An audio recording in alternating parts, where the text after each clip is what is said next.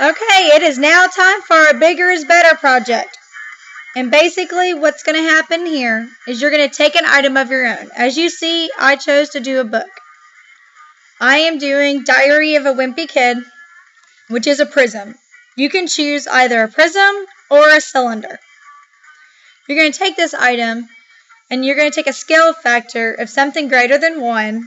So let's say you're going to dilate it by 2. You're going to take this item and make a creation of the same item times the scale factor of 2. So to start this process, we're going to walk through the steps of everything you're going to do daily because you have five days to complete this project. On Monday, you'll choose your item and then you're going to draw the original net. You take this item and trace each piece of it and get the net. Then I want you to cut the net out and you're going to find the surface area of this original net. This should all be completed come Monday. On Tuesday, you'll then take that surface area of your original net, use your scale factor to determine the surface area of your new creation. Once you've determined this, you're going to draw the net of your new creation, and then I want you to cut out your net. So at this point, you should have two nets. You have your original net of your item, and then you have a new net for the creation that you're making. Now that we have this and we've done all of our math calculations, we want you to trace this net onto a poster board. Along with tracing this net, you need to draw tabs in certain spots. As you can see here in these pictures, these tabs, you're going to use these in order to bend and help with gluing or taping this project together so that it becomes a 3D object. But as you can see in some of these pictures, you have to be careful of where you put your tabs. I wasn't very careful and I put a tab where it went over, over two areas that end up bending. So in order to fix this, I just cut my tab in half. And now it'll bend together with the item. So that's not going to be a problem.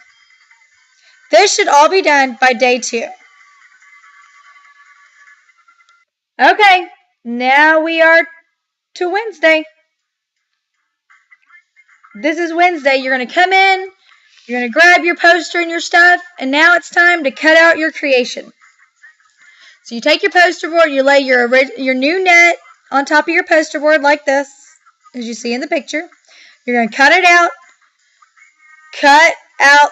Do not cut across those tabs. You got to cut out along the tabs so that they're connected to your poster board. Don't make that mistake.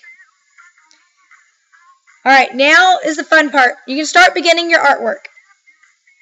You can do what I, like if you see in my picture, I knew that my scale factor was 2. So if your scale factor is 2, what percentage is that? Very good, 200%.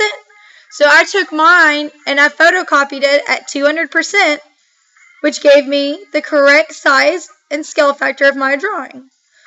Or you can draw it because there's so many of you guys who are so talented in this class. And if you know your drawing is in a 4 by 4 square area, then you would know in your second net it would be an 8 by 8 square area. Okay? So, you just have to be able to prove to us how you did the scale factoring of your artwork. So, this is the fun stuff. Come Thursday, you'll come in and you'll finish up your artwork.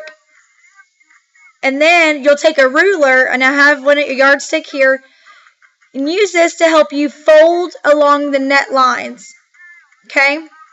So you're going to fold along it and that way, you, when you go to fold it, it folds straight and you know exactly where you're folding.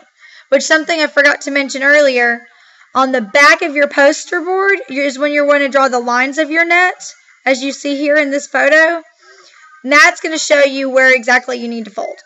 So now you're going to assemble your creation, and come Friday should be small final touches, and you should prepare for your presentation, and then we're going to present on Friday. Now let's look at your worksheets. All right, worksheet one is going to go on top. It's going to give me my calculations. And there's two lines at the top of the paper. I need both names of the partners. If there's a third, just put it in the middle. Your second worksheet is where it gives you the daily checklist so you can check it off as you go and you know what your grades are going to be. You have a participation grade. You get 20 points a day for this.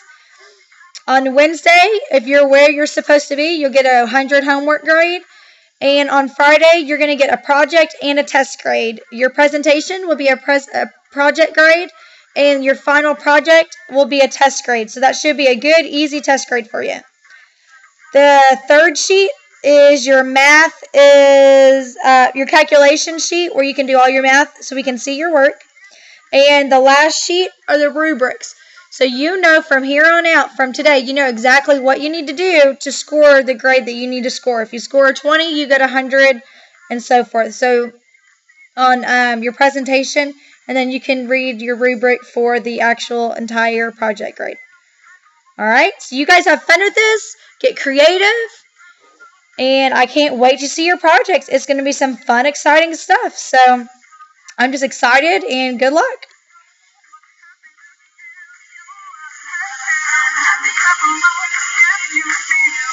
That's what you want to do.